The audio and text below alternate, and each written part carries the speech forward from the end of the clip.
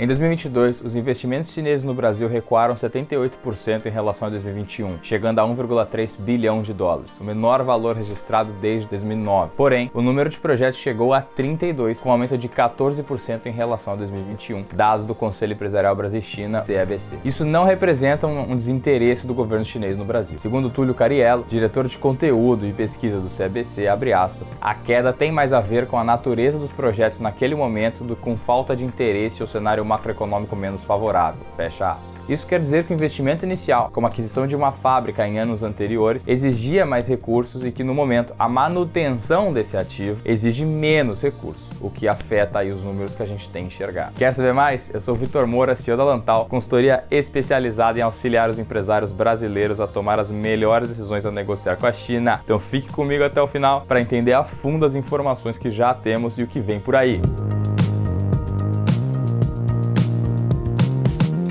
Brasil continua se colocando como um parceiro confiável da China e com muitas oportunidades, considerando as possibilidades de mercado, produtor e consumidor. Não à toa, o Brasil foi o quarto maior receptor de investimentos chineses no mundo no período de 2005 a 2022. Apesar disso, a China vem, ao longo dos últimos anos, adotando uma postura mais cautelosa e seletiva em relação aos investimentos externos por diversas razões. A priorização da agenda doméstica e o ambiente geopolítico global mais austero leva o país asiático a ajustar aí um pouco a suas estratégias. Mesmo assim, o investimento chinês tem interesse em áreas como infraestrutura, que enfrenta carências estruturais, como também no segmento de tecnologia da informação, tendo em vista a explosão do número de aportes iniciada em 2021 e a expansão de domicílios brasileiros aí com acesso à internet, que chegou a 90% em 2021, bem como o setor de eletricidade, com projetos do setor hidrelétrico e no segmento solar. Várias são as iniciativas chinesas em território brasileiro que começaram em 2007. E aqui vamos destacar os investimentos chineses ingressados como iniciativas Greenfield, ou seja, que se refere a um empreendimento que está sendo concebido e executado onde não existe atualmente uma organização empreendedora ativo ou operação. Um Greenfield Site é um local onde não existe infraestrutura presente para suportar o projeto, ou seja, ele começa realmente do zero. Esse termo é utilizado para descrever uma área de terra onde nenhuma infraestrutura foi construída, porém existe um projeto para que seja feita uma obra no local. Mas antes de entrar a fundo nas características desse projeto, não se esqueça de deixar seu like, se inscrever e ativar o sininho para não perder nem nenhuma novidade, ou nos favoritos se estiver nos ouvindo aí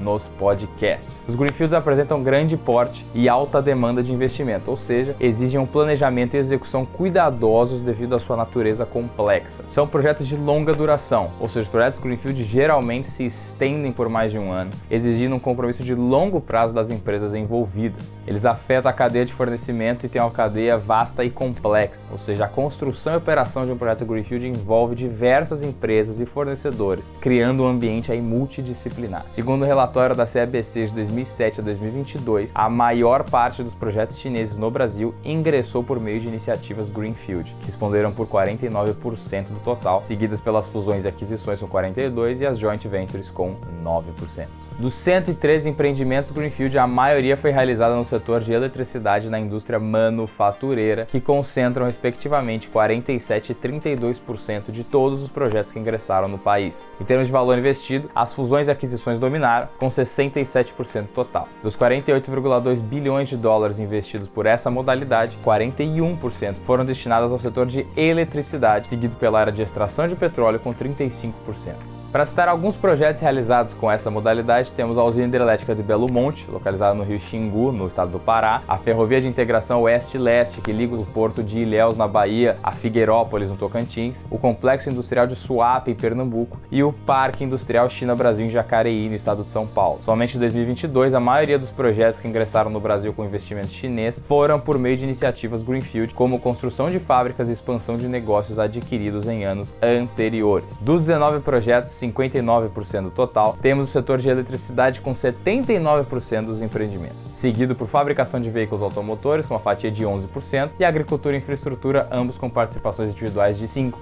O recorde no número de projetos em 2022 mostrou um renovado entusiasmo, incluindo a entrada de oito empresas chinesas recém-chegadas ao Brasil e aportes inéditos nas áreas têxtil de fabricação de materiais para uso médico e odontológico além de novos empreendimentos em tecnologia da informação e também em veículos elétricos. O Brasil, além de ter recebido investimentos de empresas como a BYD e a Great Wall Motors nos últimos anos, também conta com reservas de lítio, que é um mineral fundamental para a fabricação de módulos fotovoltaicos e baterias elétricas, do qual a demanda global, em que a China tem imensa participação, sendo o maior mercado de veículos elétricos do mundo, deve aumentar em 5,5 vezes entre 2020 e 2030. Para saber mais sobre os investimentos da China no Brasil, clique na playlist que recomendamos para você aqui à minha direita. Não se esqueça de deixar seu comentário aqui embaixo nos contando o que achou do conteúdo e como sempre, obrigado e até a próxima.